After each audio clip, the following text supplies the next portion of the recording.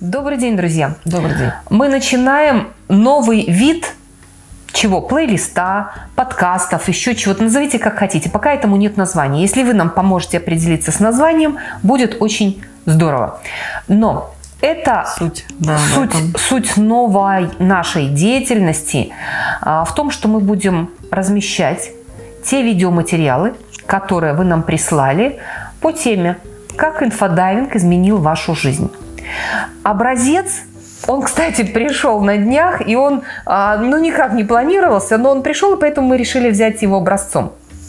Мы выложим под этим видео или вместе вот с этой нашей заставкой а, то, как человек использовал приемы инфодайвинга и какие результаты случились в его жизни.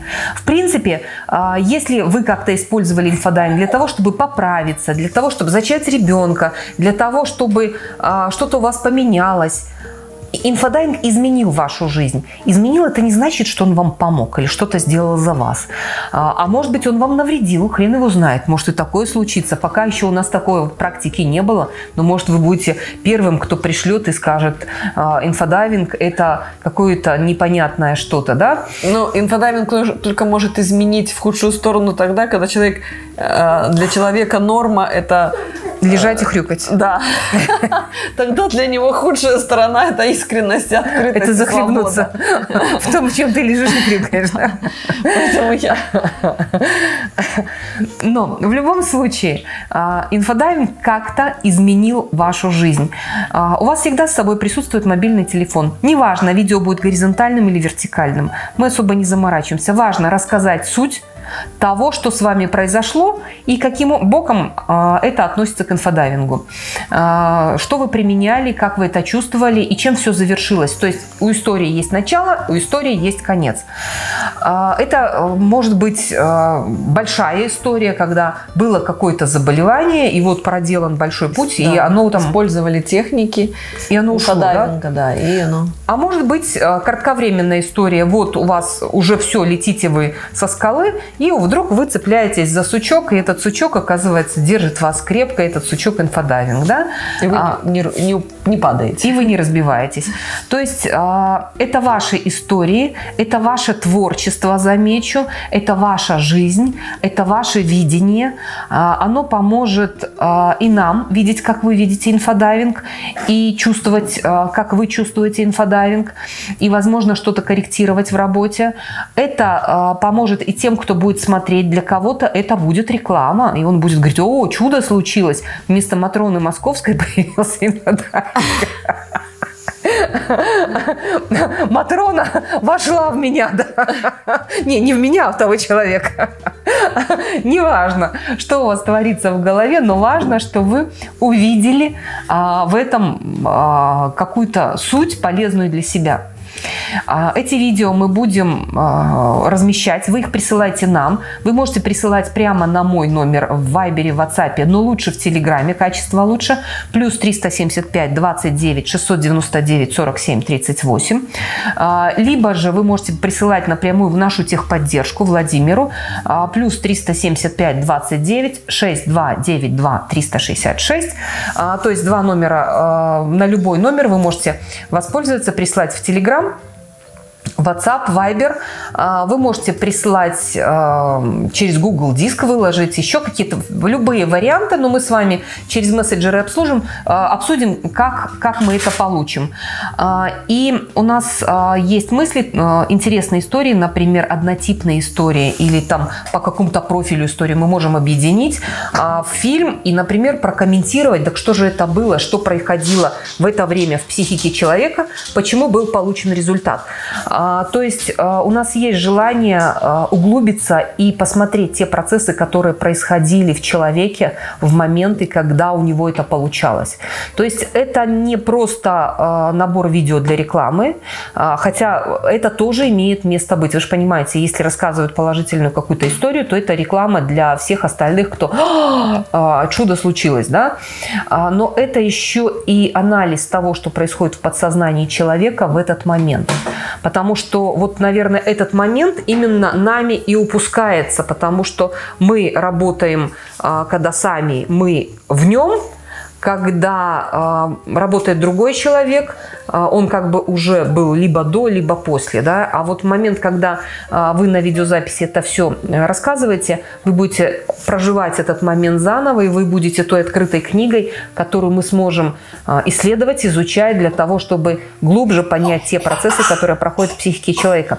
И таким образом мы, мы хотим запустить такой э, флешмоб среди тех, кто занимался инфодайвингом. А, вот в те моменты, когда вы используете нашу психотехническую базу, когда вы а, меняете свое восприятие, когда вы берете ответственность, когда вы вспоминаете, нет, ответственность на мне, Бог во мне и так далее, и двигаетесь в развитие через инфодайвинг, а, запишите видео до 10 минут с рассказом, что было, с рассказом, чем закончилось, и что вы при этом делали. И это будет полезно и вам, и нам. Спасибо, ждем ваших видео. Образец прилагается. Здравствуйте. Захотелось поделиться с вами. Не так давно у меня произошла история, и не одна. А, так случилось, я в ванне включила воду и, как нормальная хозяйка, забыла про это. Включила наушники, стала слушать интересные подкасты инфодайвинга, кухню инфодайвинга и готовить обед семье. Вспомнила, когда услышала нехороший звук. Прилетаю. Ванна переполнена водой по щиколотку. Я, естественно, включаюсь в эту тупую игру вычерпывания воды. Подключая быстренько мужа к себе в помощь, работаем. Наверное, проходит минут 10-15, начинаю понимать, что дело совсем плохо – надо срочно создавать, иначе соседи не заставят себя долго ждать. Стала создавать, что соседи, обнаружив протечку, узнают, что у меня и с пониманием относятся к этому. Мол, ну, всякое бывает, ничего страшного. Прошло буквально минут пять максимум. Стук в двери. Муж, естественно, отрисая руки, говорит это к тебе, встречая гостей, захлопывая двери спальни за собой. Понимая, что делать нечего, открываю двери. На пороге стоят соседи, причем не те, которые подо мной, а через этаж от меня. Говорят, у нас там вода течет с потолка чего-то. Не знаете, что такое? У вас, может, тоже? Понимая, что никуда уже не деться, честно говорю. Да, это я, виновата. Извините, так получилось. Сейчас все убираю. И они вдруг с облегчением вздыхают и говорят, а, ну тогда понятно. Просто соседа над, над нами дома не оказалось, и мы сразу к вам пришли. Думаем, ну мало ли что.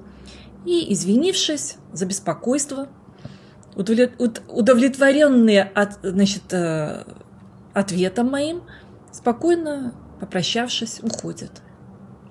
Муж ошарашенный выходит, все слышал за дверями, но промолчал на всякий. Для себя, конечно, я осознала, о чем это мне, и поработала с собой о возвращении ответственности в себя. Поблагодарила и закрыла эту историю.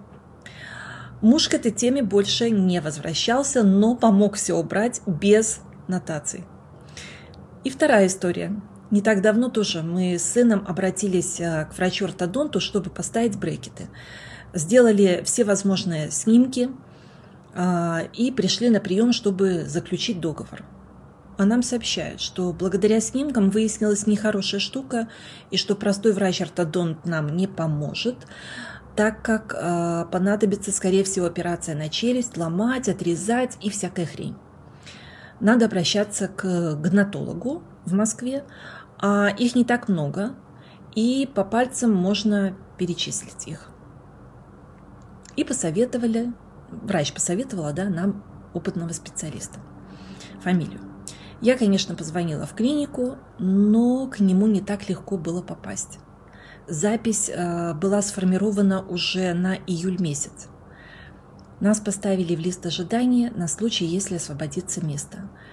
Конечно, меня это не устроило. И я поработала над этим. Я с благодарностью закрыла эту историю и создала, что нас пригласили в мае к гнатологу, и он сказал, что все у ребенка хорошо, никаких проблем, он не видит и не понимает, чего мы пришли к нему. Прошло около двух недель, и нам звонят с приглашением прийти на прием, так как появилось свободное место к врачу. Естественно, я согласилась. Так вот, 9 мая гнатолог, посмотрев сына моего, сказал именно то, что я проговорила выше, что все хорошо и не понимает, чего к нему направили. Вот так бывает. Мы сами все создаем. Захотели – играем. Нет – тогда закрываем с благодарностью и создаем то, что хотим прожить. И я уверена, что такие ситуации в жизни случаются у каждого, не только у меня. Но вопрос, хочет ли человек это осознать, чтобы вернуть веру в себя и стать создателем своей реальности. Потому что Бог не где-то там, создающий, а это мы.